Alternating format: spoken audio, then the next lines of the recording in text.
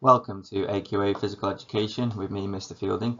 I'm here today to give you as much information as possible about the course to make sure that you obviously pick PE because it's good for the mind and the soul and then also make sure that you do pick the correct course within PE because we do offer a couple of alternatives as well. Uh, the best thing to do is give you the information and the opinions of the students that currently study the course. Uh, so here we have Jake Flynn. Uh, I enjoy the mixture of practical and theory. There seems to be a myth that the whole course is in the classroom and you don't do any practical. We have a really good mix and we seem to learn more because of that. I enjoy having a deeper understanding of my body as it helps me in all aspects of my life and when I'm physically well I feel better mentally. So anybody thinking of taking it, just do it. Uh, then we move on to Nicole Nassif down here. Uh, PE is quite an interesting subject. You learn about your body movements and surprisingly apply it to your daily life. You learn everything there is to learn about exercise and effectiveness of certain types of training and so on. Not only does it involve learning about the physical body, but you also learn about mental health and how it can impact everything you do, and how sports helps to, to cope helps you to cope with it. Luckily enough, you don't just sit in the classroom, you get to go out and experience everything you learn in the classroom uh, yourself and you learn about new and different kinds of sports and you get a chance to play some of your favourite sports. One of the best decisions I made was choosing PE as a subject. So obviously the main questions that you guys are going to be asking is what is PE about? So you might be looking at it from a career point of view, like do you want to become a personal trainer or a coach? Are you thinking physiotherapy or PE teaching might be a career choice for you? Uh, but a lot of you might be thinking I want the knowledge to keep fit and look after myself because uh, obviously when you think about the pressures of uh, the societies that we live in uh, people are wanting more and more to, to, make sure that they can take care of themselves as a whole. And in our course, you see the benefits that physical health has on the mental side of your life as well. Uh, you got the point there. Do you just find the human body fascinating and want to know more about how you work as a person? Uh, do you want to learn how to train smart, not just train harder, to get the best out of your body, and not just pushing yourself to limits that are not really improving you as you'd want to be improved? Or do you just want to develop the knowledge to get better in the sport or activity that you take part in? If you take this course, you give yourself the opportunity to be your own coach and your own trainer to make sure you can get ahead of the game in any of the courses uh, or sports that you might play in your spare time. So what is PE about? PE involves analysing your own and others' performance, uh, which looking for ways it could be improved.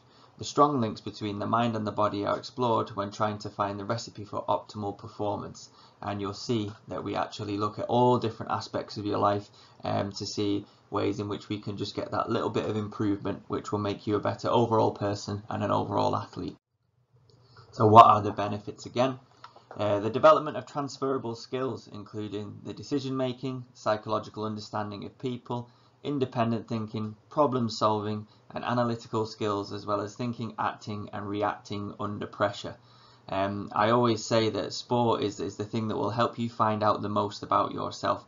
There'll be different situations where you'll have to act in the moment and you'll need to make sure that you take everything into account and make the correct decisions. So if you want to understand how your mind works and how you respond physically to your mind, then this is definitely the course for you. Um, the benefits again, it's an interesting and challenging learning experience. Uh, in it we introduce key sporting ideas and show how these interact with practical performance. You will gain insights into the relationships they have with each other throughout the course. Uh, the study of the GCSE opens up a range of possibilities for further study and also into careers associated with the subject. How will I be assessed? So these are the big questions that people um, normally ask when they're going to be picking uh, one of our courses. So you get a practical assessment which is worth up to 40% of your grade. So your physical ability is worth almost half uh, of your overall grade which you'll be picking up at the end of year 11. Then we have your theory assessment which is worth 60% of your overall grade and that's split off into seven different units that we cover inside our theory lessons. But wherever possible, we make any theory lessons practical because that is the best way to learn is to do. So a bit more of a breakdown of the practical assessment there. Um, you will complete three different complete three different physical activities in the role of player or performer. Um, one in a team activity, one in an individual activity, and the third in either a team or in an individual activity. So to give an example there, we might have someone who picks maybe football for their team activity, we might have them pick table tennis as their individual activity, and then you'll have a third sport which can range from anything from handball to badminton uh, to anything you can think of as long as it's on the specification list.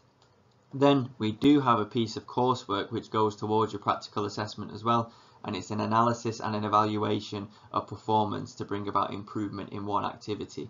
You can use yourself for this or you can actually look at um, an athlete who might be a hero of yours. The theory assessment. So this is split into two papers which you will study through Key Stage 4. Each paper is worth 30%. Paper 1, the human body and movement in physical activity and sport. And you've got paper 2, socio-cultural influences and well-being in physical activity. Breaking paper 1 down further, uh, and you can see there that the, the, the four units that will be part of this are applied anatomy and physiology, movement analysis, physical training and use of data. So anatomy and physiology, you'll be looking at the bones, the muscles, the joints, uh, the cardiovascular system, uh, the skeletal system, the respiratory system, and you'll be looking at each system within, within the body that helps you become a better performer. Uh, and obviously you will get down into the scientific nature of this and then you will look at different ways of analysing this information through use of data to make sure that you can improve any athlete that you work with or improve yourself. Then you see the second unit there, we've got movement analysis which looks at the biomechanics of movement. So that looks at how muscles generate force at different joints and how the, the certain levers at different joints generate certain amounts of power uh, just purely based on the way that they, they are naturally made up in the body. Um, a really interesting unit um, which will also look at the, the planes and axes of movement which will then make, help you understand your own movement more and then you'll be able to become more efficient in the way that you move which means you'll have more energy uh, for for more for, for longer in any of the games or sports that you play. Then physical training which is the one that most people enjoy the most from this unit um, you can see it will be parts of the components of fitness. So what makes um, what makes you up as a performer? Is it power? Is it agility? Is it speed? Is it cardiovascular endurance? Is it strength? Uh, and then we have a look at them and see the best types of training that we can use, uh, whether it's weight training, circuit training, plyometric training, altitude training, and we have a look at all those different types of training to see how we can improve you the most uh, as an athlete. And then obviously you'll be assessed um, in year 11 um, on those four units for 1 hour 15 minutes in a written exam which is worth 78 marks and this is 30% of your overall GCSE. Then we've got paper 2, socio-cultural influences and well-being. So what is assessed there? Uh, my favourite unit in all of this is sports psychology, uh, how the mind works in these pressure situations and how you can use it to your advantage. So if you ask any of the current year 11s in the current um, GCSE class, um, I'm a bit of an old man, so I can't keep up with all these young people that can sprint up and down the pitch all day. But one skill that I do have is I know how to to get into people's minds and cloud their judgment and provide too much information so that they make wrong decisions. So if you ever play a game of sport against me, which you will if you pick the course, uh, you will notice that um, I do a lot of talking on the pitch to, to try and force you into making poor decisions. But we'll look into things like that more in the course and how you can try and drown me out uh, and how you can try and control the stress of, of being involved in, in a sporting activity. Then the second part there, we've got social cultural influences, which is a really, really interesting unit about why people play what they play. So you'll notice that a lot of people um, in from the same areas play the same sports and it all might be dependent on equipment it might dependent on expense it might be dependent on uh, which facilities are closest to your house but we look at all different things like that which will have an impact on you as a performer and then maybe what guides you into picking the certain types of sports that you're interested in. Then we've got the third unit there, health, fitness and well-being. Um, that is a really, really important unit, especially at the moment. Uh, but we look at the mental and social side of your life and how it has an impact on your overall physical health, uh, but how physical activity can actually improve your mental health and social well-being in such drastic ways. So we give you some tips and tools to make sure that you can look after yourself in that way. Uh, but overall, you will see that the exercise is the key to any sort of happiness and success because the happiness has to come before success in order for you to be the best version of yourself. So same again there, it's assessed with one, uh, one hour 15 minute exam, uh, 78 marks in the second exam and that is 30% of your GCSE as well. So we like to make a promise to you um, when you pick one of our courses. So throughout the course, we, we will place the emphasis on introducing you to the key concepts within physical education. Throughout, we will ensure that we are re relating these concepts to performance while developing your knowledge, competence and confidence in a wide variety of skills that will enable you to confidently move forward in life. So to summarize that a little bit, what we're saying here is we will give you everything you need in terms of knowledge, in terms of opportunity, um, as long as you commit to us in the way that we know that you can. And you see on the bottom there, the theoretical side of the course is com complemented by the practical element where you will get to put this newly learned theory into practice and improve and develop in your chosen activities that is something key for us is that wherever we can we make sure that we can get your learning in a practical setting because we feel that that is where you learn the best. What can we expect from you? Um, if you pick this course you need to be committed. You need to be committed to improving yourself physically, uh, to training independently, to making sure that you can keep on top of your physical fitness, to, to give yourself that best opportunity uh, for, for the top marks for that aspect of the course. But equally, you're going to have to be resilient. You're, you're going to be getting uh, unit results and sport results that might not be what you want them to be at the beginning of year 10 or in comparison to some of your classmates. But you need to understand that the resilience you show will then lead you to understand that you are on your path, you're not on everyone else's path. And we will obviously do whatever we can uh, to support you on that, but you must be aware that there are there's no such thing of just doing it once in PE. You need to do it again, again, and again, and you need to have the mindset of getting that extra one or two percent out of this lesson. That could be the difference between a grade six and a grade seven. The third point there, you must be willing to try new sports. I, I cannot stress enough, you are not picking GCSE football, you are picking GCSE PE. You are picking a range of sports, individual sports, different types of sports, and we have to look at all of them because you will be questioned on all of them in your theory papers. So you must be willing uh, to, to open up your mind to sports that you might not have really played before. Um, the fourth point there, that is a huge, huge one in PE. Everyone is at different levels in, in all the different sports that we play in PE. Reason being, uh, you might have just been involved in something since you were very very young and you have a lots more experience in that and you are going to be a better performer. It does not mean that we judge anyone who's on a different part of their journey in any sport that we choose to play. So respect for the journey that anyone is on is key.